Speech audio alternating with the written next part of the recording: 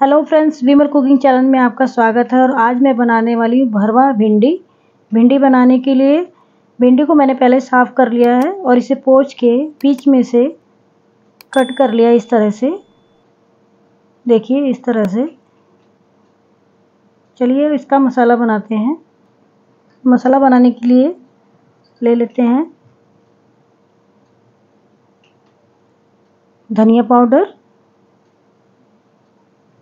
आमचूर powder.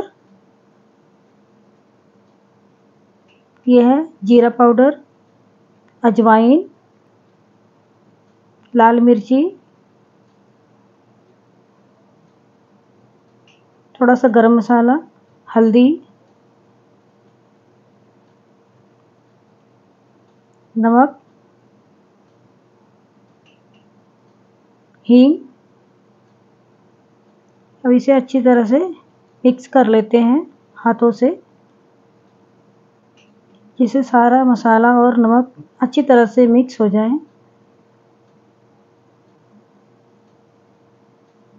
अब भिंडी ले लेते हैं।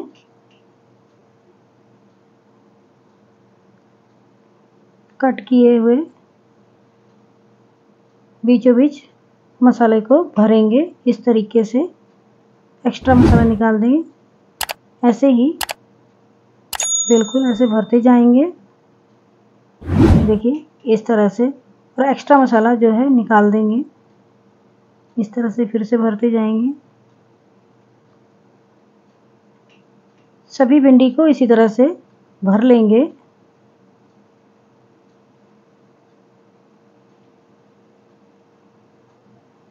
देखिए, सारी भिंडी भर चुकी है। इसमें से जो भिंडी बड़ी होगी उसे बीचों बीच से कट कर देंगे। ठीक जैसे ये है। देखिए।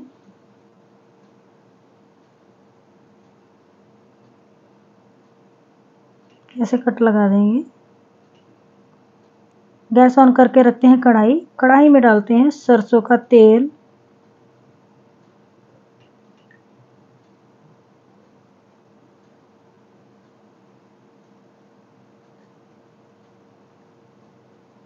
और इसमें डालते हैं जीरा।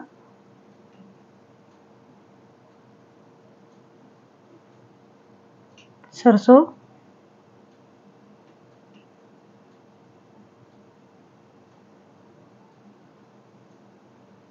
अब इसमें डालते हैं भरी हुई भिंडी।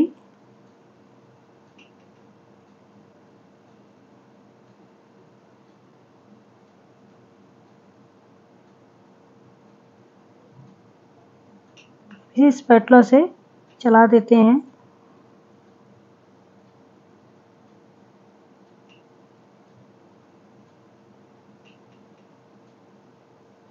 इसमें थोड़ा सा नमक और डालेंगे।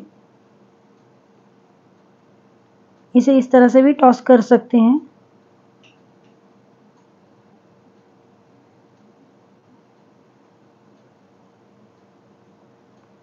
अब इसे धीमी आँच पे ढक्कन लगा के पकने देते हैं और इसे बीच बीच में चेक करते हैं और फिर से इसे स्पैटला से फिर से घुमा देते हैं। फिर से लगाते हैं ढक्कन।